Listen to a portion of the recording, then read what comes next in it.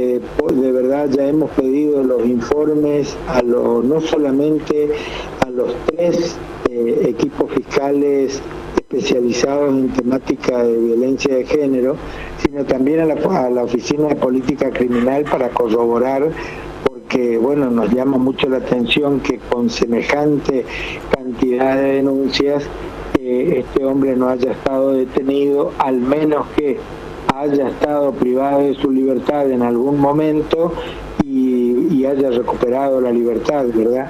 Eso puede ser. ¿Tiene explicación? ¿Puede llegar a pasar de que haya más casos con semejante cantidad de denuncias y que las personas estén libres? Sí, sí, eh, doctor, le explico. Eh, puede ser, eh, puede ser por varios motivos.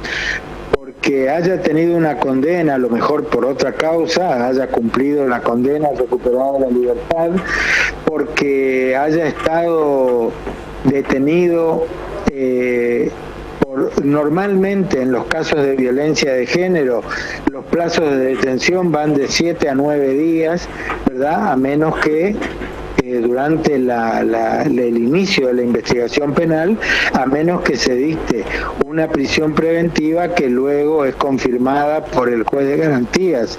Evidentemente, si en algún momento esta persona eh, tuvo alguna prisión preventiva, eh, con el transcurso del tiempo consiguió la escarcelación por algún motivo, bajo alguna caución, pero estoy eh, realmente haciendo suposiciones porque el día lunes voy a tener el informe completo de todo ese listado que se publicó lo que tengo que ver y por eso es que no, no quiero emitir una opinión es si realmente esas causas están en trámite, están archivadas, eh, si tuvieron, si en algún momento estuvo detenido, todo eso va a saltar cuando tenga el informe de, política criminal.